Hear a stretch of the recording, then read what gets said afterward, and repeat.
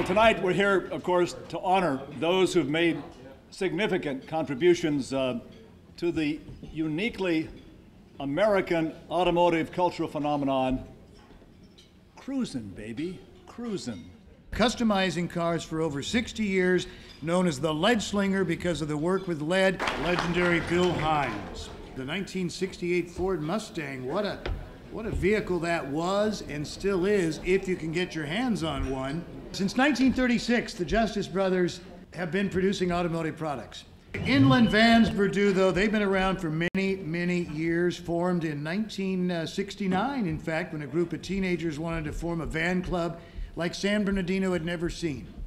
Hal Blaine, deemed the most in demand session drummer in his era, he played with every single musician you can think of. Many years ago, I did a record with the Beach Boys called Good Vibrations.